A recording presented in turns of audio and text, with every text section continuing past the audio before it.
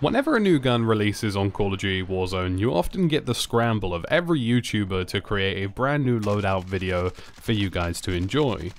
It's something I enjoy doing here on the channel, and something a lot of YouTubers do generally speaking, but a lot of them do get it wrong, and I have seen some loadout videos out there that just flat out make no sense or are people just reaching for specific titles.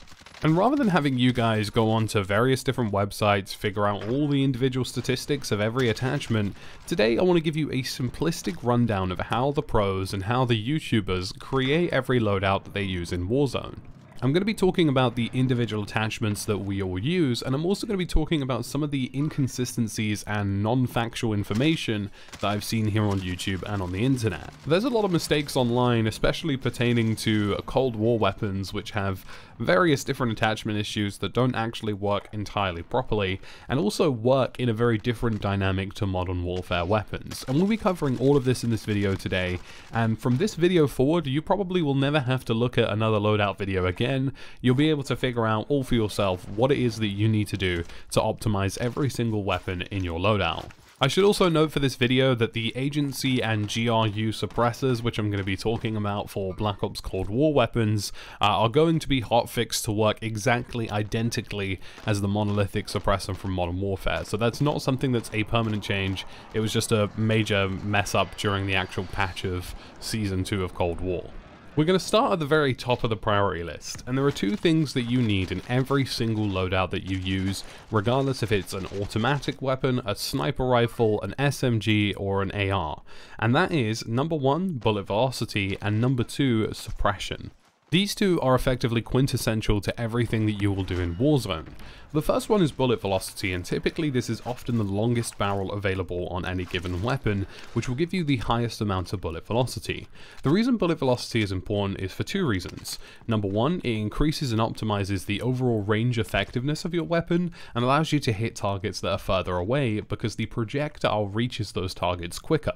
For example, if you're using a Kar98 sniper rifle, using the longest barrel on the Kar98 effectively means that from the moment the sniper round is fired to the moment it hits the target, the time in which that takes and the lead distance that you have to make per shot has been significantly reduced because the bullet velocity is higher. In effect, your bullet will reach target A to B much quicker from the second it leaves your barrel. And this applies to absolutely every weapon in the game because if you're using an SMG for example, like a MAC-10, you still want your bullets to hit the target faster. So choosing the barrel with the most bullet velocity is exactly what you have to do, because if I have the barrel with the highest bullet velocity and I encounter somebody else with a MAC-10 who doesn't have that barrel or has a slower bullet velocity barrel, then it means that my bullets will hit him faster than his bullets hit me, effectively meaning that in the overall damage system of things, I will deal more damage to him before he can deal more damage to me, and that means that I will win that gunfight provided I land a similar number of shots. If you're using the same bullet velocity barrel, then that means it's simply a case of who is more accurate, but effectively you don't want to put yourself at a velocity disadvantage, because it means that you will be killed. It's hard to notice these things in really fast gunfights, but effectively, anybody who is not using the max velocity barrel for the MAC-10 is at a major disadvantage to anybody who is using one.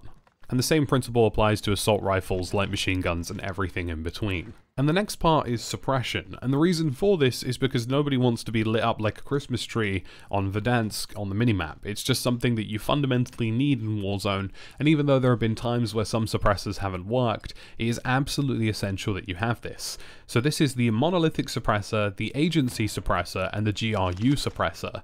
These are the three suppressors you should use on both Modern Warfare and Cold War weapons, because they also increase bullet velocity.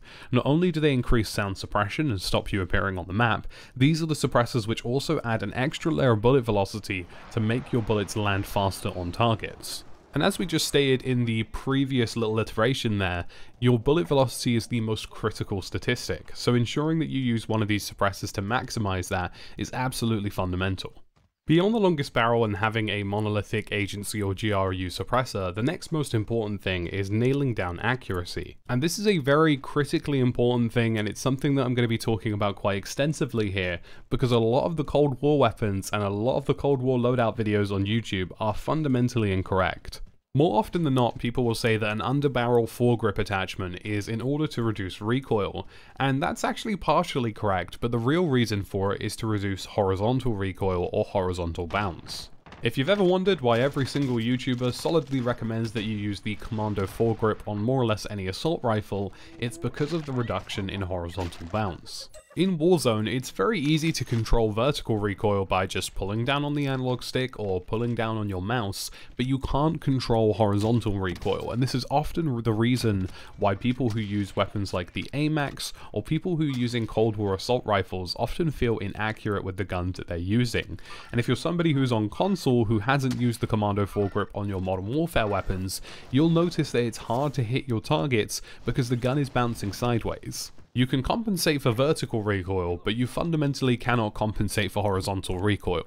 The Commando foregrip is highly recommended for modern warfare weapons because it reduces horizontal bounce by 15%. So that means weapons like the Scar H, the Odin, the AMAX, and really any kind of high caliber weapon which bounces side to side when you fire it gets a massive reduction in that recoil value. This is far more important with Cold War weapons though because Cold War weapons inherently have a much higher horizontal recoil bounce value than any other weapon in Warzone. The best examples I have of these are the Cold War MP5 and the FFAR. Everybody who uses the FFAR for some reason uses things like the Bruiser foregrip, and they'll tell you to use different other foregrips here and there, but if you're not using the Field Agent grip, then you're putting yourself at a massive disadvantage. And this applies to every Cold War weapon that has a field agent grip.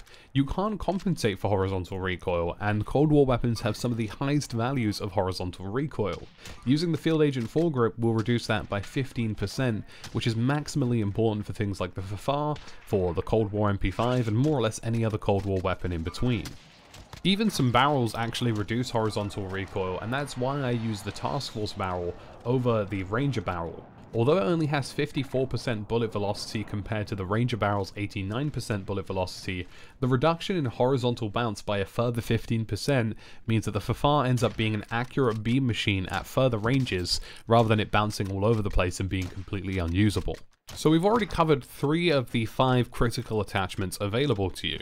The next one is most obviously ammunition, and this is of course a mobility versus ammunition capacity trade-off, and often people who use ARs go for the maximum mag which is 60 rounds, sometimes it's 50 rounds, but rarely do people tell you to go to the sort of 100 or 200 round territory, and the reason for that is because you do need the maximum amount of ammo for the maximum killing potential per mag, but you don't need a level of ammo to the extent that it slows your character down and makes you an easier target to shoot and makes you generally feel less mobile mobile. The only reason that would be acceptable is if you were running a secondary weapon like a MAC-10, which you can switch to and move very quickly with. So yes, the highest ammo capacity is absolutely important, and if you're using something like a sniper rifle, you have to do the trade-off between aim down sight time, the trade-off between mobility, and the trade-off between how quickly you can reload. Now, typically there are some weapons where this works better than others. For example, the LW3 Fast Mag doesn't really have any mobility penalties overall for the Cold War sniper rifle, but it does actually give you a really fast reload, which is better than having, for example, a 9 round Fast Mag mag, which has more ammo per shot, but fundamentally reduces your mobility quite significantly. And that's all you have to look out for. You don't want your sniper rifles to be slower, you don't want your assault rifles to be too slow, and in terms of light machine guns, that's kind of a your choice kind of scenario. If you're looking for a long range weapon and don't really care too much about the aim down sight time, then that's a trade-off that you're willing to make. So that's four of the five attachments. The last attachment is really down to you in terms of what it is that you're looking for in your weapon. For example, if you want a long range weapon, you'll typically want to use a three times sight, or for example in a Cold War weapon, a two or four times sight, and that will give you some range options in that scenario. If you're somebody like me who doesn't really like iron sights, I use the holographic sight on my M13. Uh, that's pretty important, and it's also worth mentioning that specific sights have a recoil or visual recoil reduction. The VLK 3.0 and the holographic 1.0 are a perfect example of that, as they actually reduce the recoil you see on screen and make your weapons more accurate. Some of them even reduce the actual horizontal bounce. Uh, there are a couple examples of this. The Merc Thermal Optic, for example, does that. Uh, the C480 Pro Optic does that. The VLK 3.0 does that. And some of them just flat out add ADS time and don't really have any other benefits of that variety. Uh, the Scout Combat Optic, for example, a 2.1 times sight, which not many people use, actually gives you a vertical recoil reduction of 11% and a horizontal recoil reduction of 20%. And these are things that you can check out on True TrueGameData.com. I highly recommend it for these last final attachments because they're going to be the things that kind of make a difference. Uh, but as the Cold War weapons and the Modern Warfare weapons have better representation of their statistics and what they actually do in the game itself, you'll have to use these tools less and less, which is a really good thing, and hopefully Raven Software sort out all the Cold War statistics soon. So yeah, if you want those range options or you want something to make your gun feel more accurate, an optic is a great way to go. For sniper rifles, you may want to explore the option of a stock. Some of them make you a little bit more precise or make you move even quicker. I, for example, even use this on an assault rifle. I use the Raider stock on the FFAR because it adds that little extra layer of mobility with the weapon and makes it just feel a little bit quicker and a little bit snappier, and I find that the iron sight is good enough that I don't really need an optic. So an optic and a stock is definitely an option that you can explore, a perk is most certainly an option you can explore, and a laser is definitely an option you can explore. A perk can be really handy if you want a gun to reload quicker and feel a little bit slappier with uh, sleight of hand, or if you want a sniper rifle to have focus, which reduces the amount of flinch you get per shot. Most pros in Warzone, for example, will use sleight of hand on the 45 round Modern Warfare MP5 because it allows you to get those extra bullets in the mag and make the gun more effective at taking out multiple targets. Traditionally, for long-range weapons, I recommend that you go for something like an optic, and if you're looking for something to improve your short-range statistics or overall mobility, I would use a perk, a laser, or often a stock variant if that's available to you. So really the fifth attachment is yours to play around with, and what I would recommend is using the gun in Warzone and seeing if there are any pitfalls that could be better. For example, does the gun still have just a little bit more horizontal bounce? If so, put an optic on it and you might reduce that. Does the gun feel sluggish when you aim down sight? If so, put a stock on it and you can make it more mobile.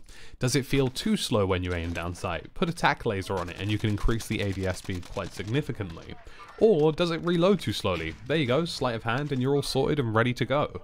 So these are all options available to you, and the fifth attachment is really your choice, and it's something that can benefit your weapon and make it better. But that's about everything you need to know, guys. That's everything that we do as YouTubers to figure out what it is that we're supposed to be doing with these weapons, and it's every stat and statistic that you should be fundamentally aware of in terms of how you make your weapon in Warzone. If you enjoyed this video and learned something, leave a like, leave a sub, and I'll see you again in the next one.